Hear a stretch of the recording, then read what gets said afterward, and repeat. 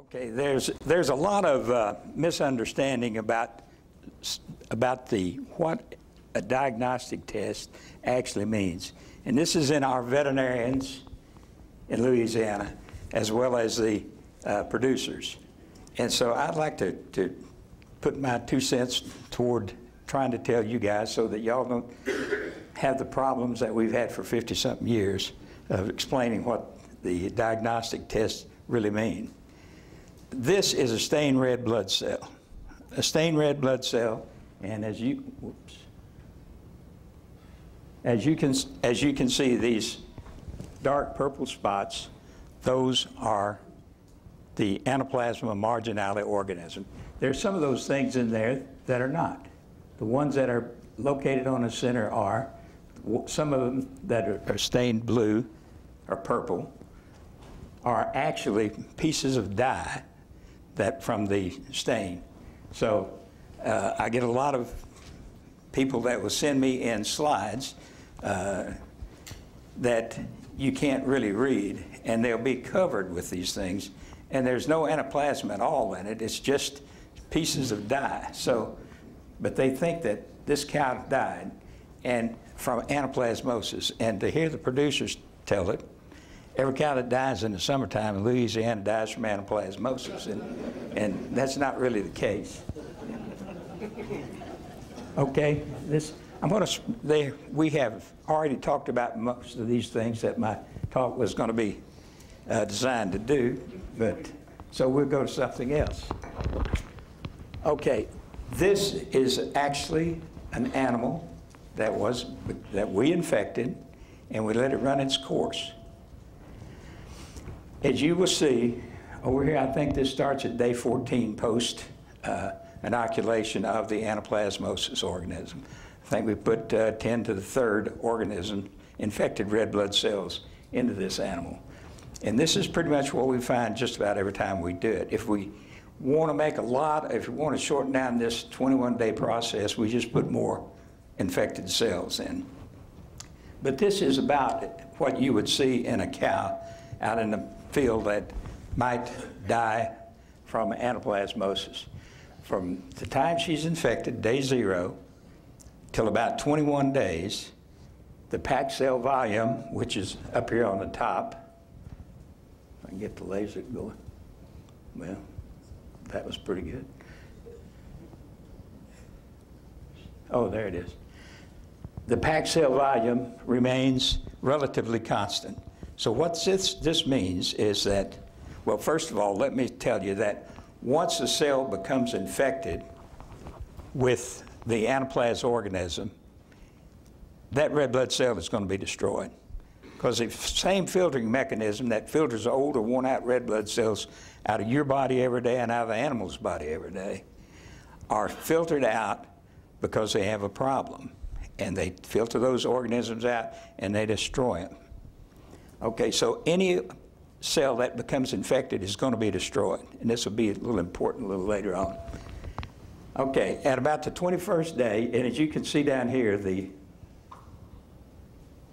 which one is, this bottom graph down here, we did, a, the, we did blood cell counts on, on all these days, and we were looking for the uh, little, little organism in the stained red blood cell.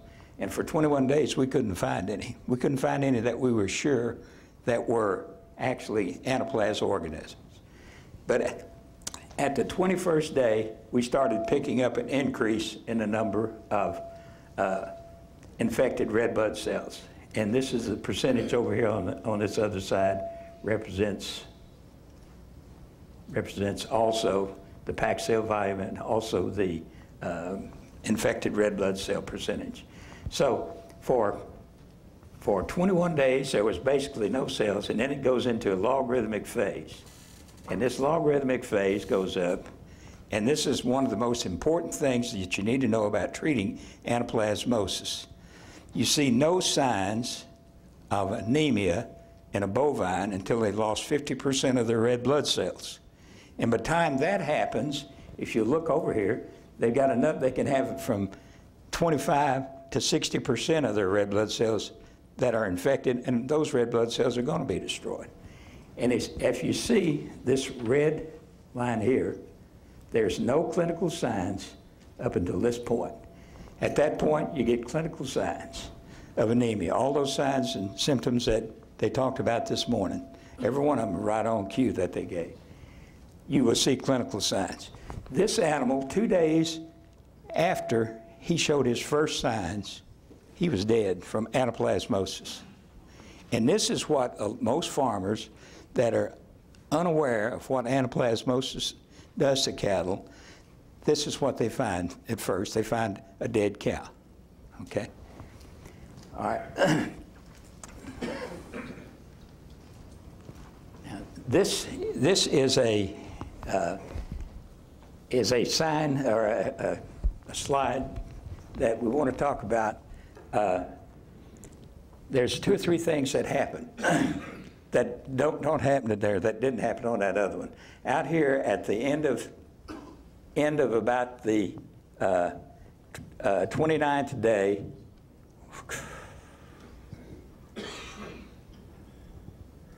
out here at about the end of the 29th day, the anaplasm organism multiplying has begun, has grown up to the point where that it has provoked the immune system. It takes about, so you got to figure about nine days back from that because it takes about nine days for the immune system to become provoked. And once it becomes provoked, well, then it will produce uh, an antibody or cell mediated immunity. And at that point, you get a, at that point you get immune clearance because whenever the uh, red blood cell is wrapped up with an organism that has an antibody on it attached to it. It gets one trip through the filtering mechanism and it's gone. And so this is immune clearance. In one day, they can go from maybe 40% infected red blood cells to no infected red blood cells and a dead cow. Not all animals die from anaplasmosis. Some of them live over. This particular one did. But if you look at that,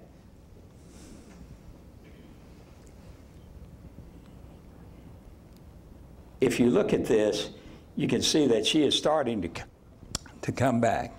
But it can take an animal, a cow, it can take her up to 160 days whenever she gets down anemic, close to the single digit. It can take her up to, to 120 days to build her blood back up to where it should be normally. And that her condition does not build up that fast. It takes a while longer than that for it to build up. So that whenever you have a calf or a cow that has anaplasmosis, and if she's pregnant, she's going to abort.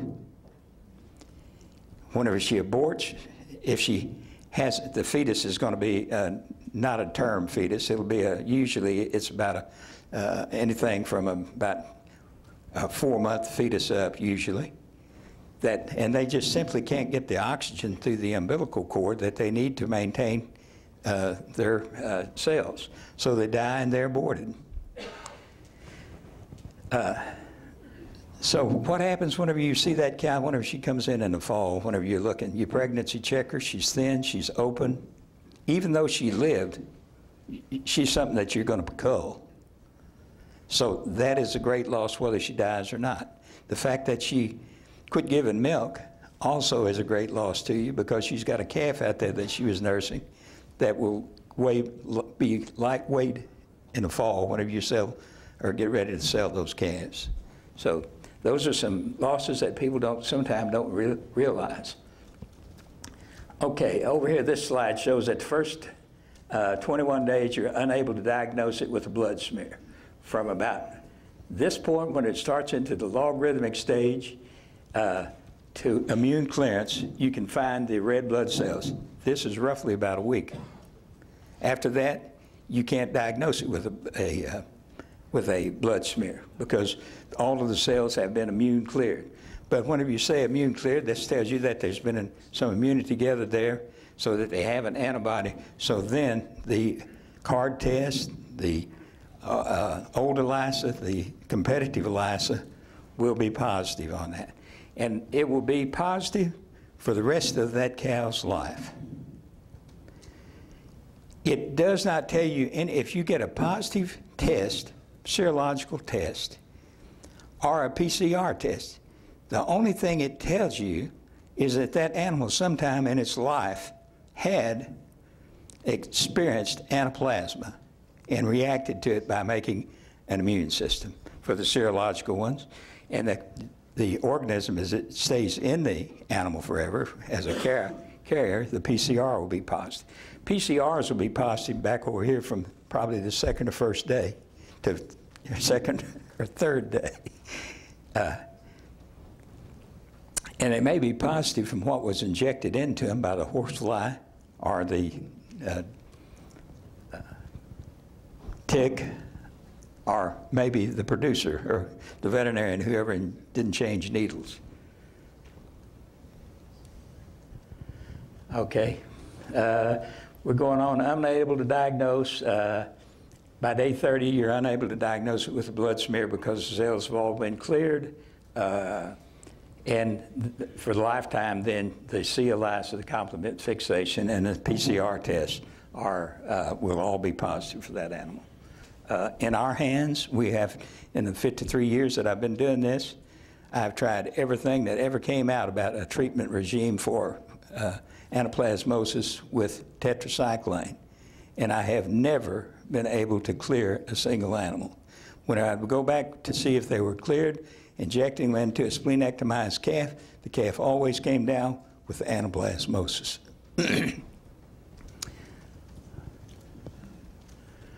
okay, vaccines.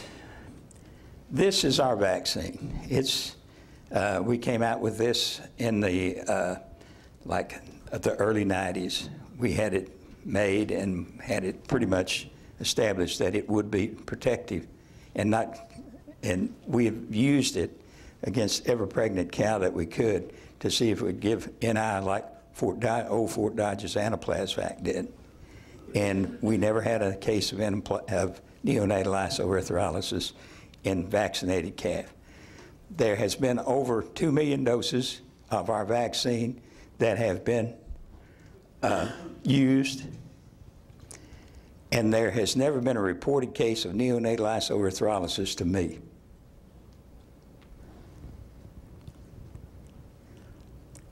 This is Fort Dodge's uh, Anaplasvac. Now then, it came out, Bill Brock at Oklahoma State, uh, he was working with it whenever I was in uh, veterinary school, and we worked with, with him on his cows. And the vaccine uh, was made from infected red blood cells, just like ours is. But if you look over here on the left,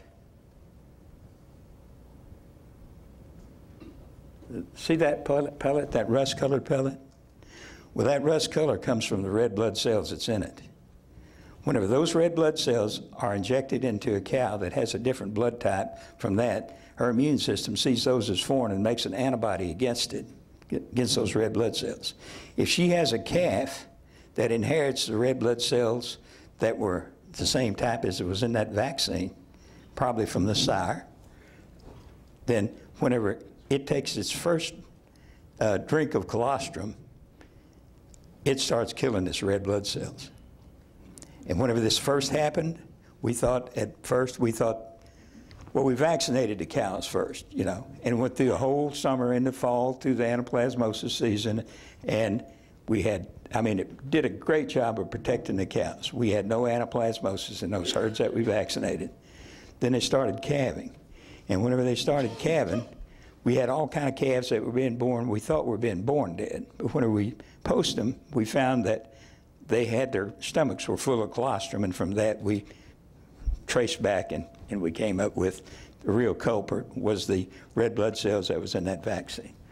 Fort Dodge lyophilized it and mixed it with this uh, adjuvant, which is an oil adjuvant, pretty similar to what we use.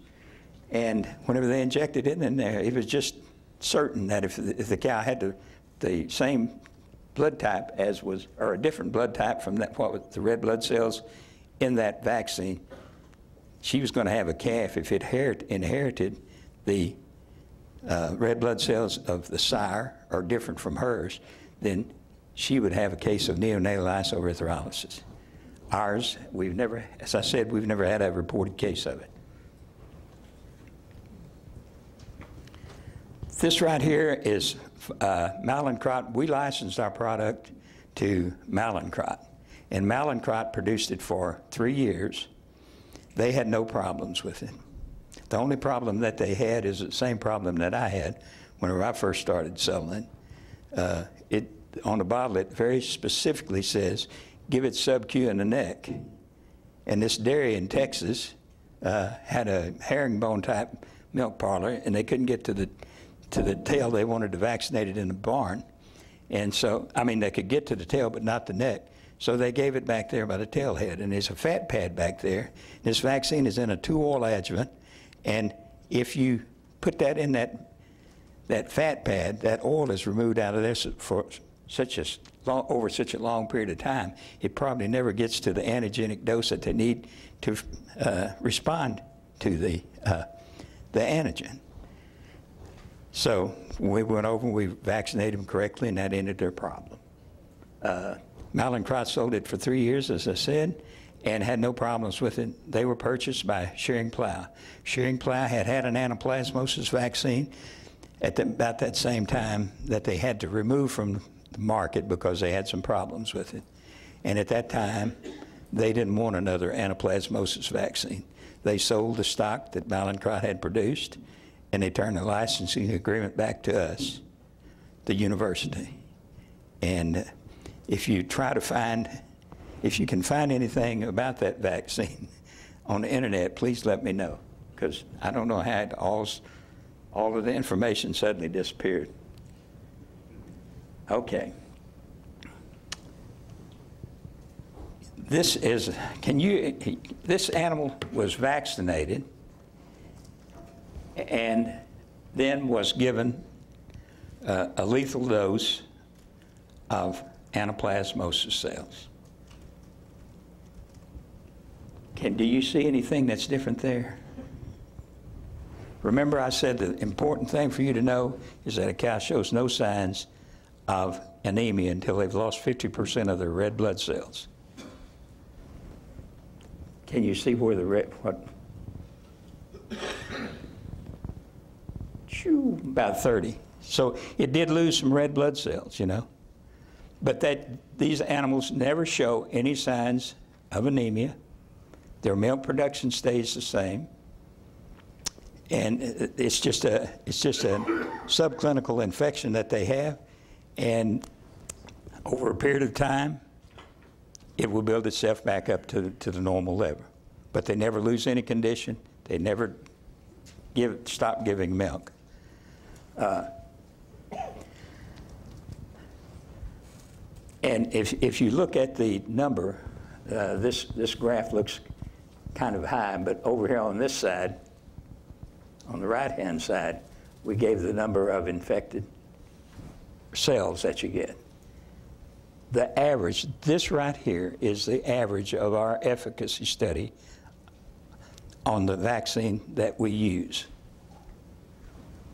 And as you can see, the, the, up here, I guess it got just a little bit below one, because there would be one. Okay. So, the vaccine, what people ask me what the vaccine does. And I tell them that all it does, they say, will it keep them from becoming infected? No vaccine will keep any animal from, you or I or any other animal, from becoming infected if they are susceptible and it's not species uh, specific.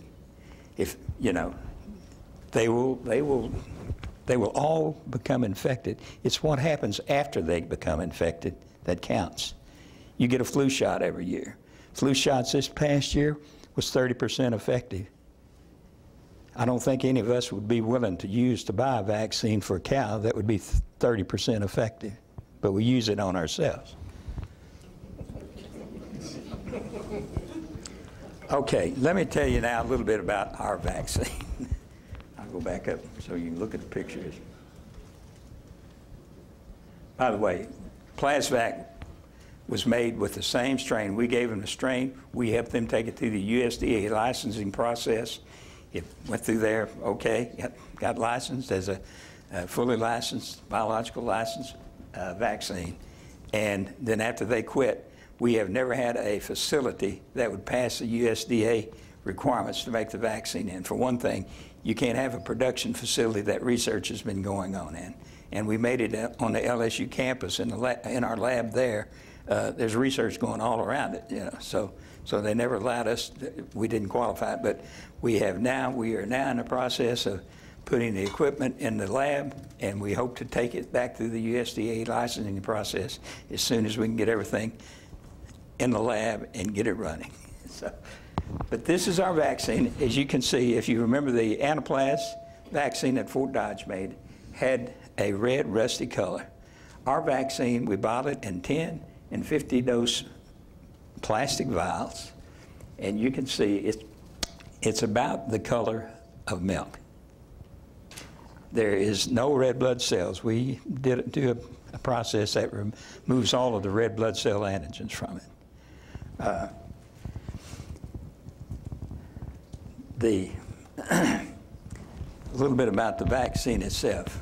We recommend that all mature animals in a herd be vaccinated for anaplasmosis. And we recommend any replacer animal that's going to be on the farm that will be 14 months of age by the end of the anaplasmosis season in your area that you start vaccinating them. If they're not that old, then that's here it's, well, I think here it was year round this past year, wasn't it? And so at any rate, but ordinary, in ordinary years, your anaplasmosis season probably ought to end by the end of November. So probably you need to vaccinate all replacer animals, start vaccinating them uh, whenever you vaccinate the rest of the herd. Uh, the, as I said, the vaccine comes in a two-oil adjuvant. All adjuvants all require a 60-day slaughter withdrawal. You're not going to put a, a, an expensive vaccine in a cow that you're going to get rid of in 10 days. Okay? The vaccine comes in a bottle ready to use. The vaccine is heat stable to environmental temperatures. We don't ship it on ice. We do recommend that once you uh, open the vial of vaccine, that if it is allowed to warm up, you will probably have taken mold spore into that vial. And it, if it warms up, the bottle warms up, it will start to uh, grow the, the mold, and then that'll spoil the rest of your vial. So if you ever open a vial of it, well, keep it cold. We recommend that you keep it in the refrigerator in your clinic, not because it couldn't survive sitting on a shelf, when we were developing it, I carried a bottle of it around in the back of my clinic truck with no heating or cooling, and it was just as good at the end of that year as when we put it in the bottle. So the reason that we tell everybody to put it in their refrigerator whenever they get it in their clinic is we had a large producer in Florida. They had about 30,000 cows, and they bought a ton of the vaccine. Ten years after they bought the first lot of it, they found it sitting on a shelf.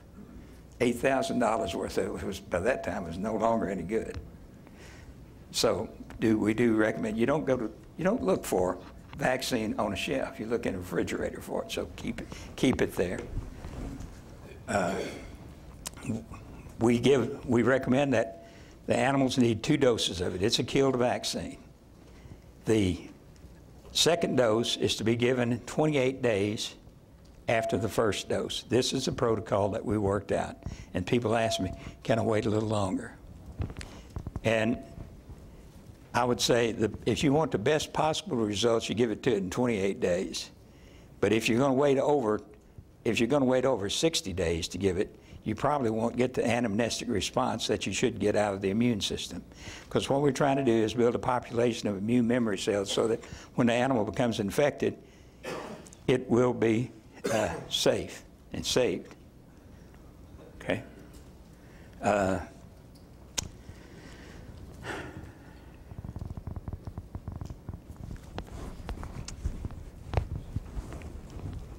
Oh, it's a 2 cc dose, and we recommend that the 2 cc doses be given with a small syringe because large syringes do not give uh, an accurate enough dose. You'll wind up wasting the stuff. It's too expensive to waste. Uh, we wholesale it to veterinarians. We have a price that we wholesale it to them. They don't like us to give that price out. Uh, and and so so I won't hear. But they and because I don't know what they're going to charge you for it anyway. They mark it up some, uh, but I can tell you this: it is a whole lot cheaper than losing cows with anaplasmosis. Uh, think of anything? Uh, the vaccine, as I said, has never caused any problems. You get a slight site swelling uh, where you inject it, uh, and that goes away in three to seven days. And outside of that, you get good protection if the animal has an immune system that is good. The only animals that I know that have been vaccinated that have died of anaplasmosis were old, poor doing cows who obviously had a compromised immune system. And last year, for the first time, we had some young animals that died. And the deal on that was this guy had order buyers to buy him. He wanted 150 uh, breeding age heifers. And so they went to every sale barn I guess that they could find and bought the cattle that he asked. And he he boxed them, put them all together, and vaccinated them, vaccinated for everything known to man, I guess, you know, because he was really interested. I mean, he was he was new in the business. He wanted to do everything right. He vaccinated him. He vaccinated him properly, and four of them came down with anaplasmosis and died. And so I, we were trying to figure out what it was wrong, and I said, "Did you know?" Ask him. I said, "Well, were any of them sick, or did?" Uh, did any of them have viral infections? I guess is what I asked him. And he said, no. And I thought a while, and I said, Did any of them have snotty noses whenever you vaccinated them? He said, You know, he said, come to think of it, since you mentioned that, he said, about three weeks after we got them, he said nearly all of them are, had snotty noses. And I said, Well, there's your viral infection. He said, You vaccinated in that time? Yes. so I said, Well, that they will, viral infections will compromise the immune system in young animals for a while but then it will come back after they clear themselves up. So those are the only animals that I know of that haven't been uh, protected against clinical cases of anaplasmosis. Thank you guys for listening.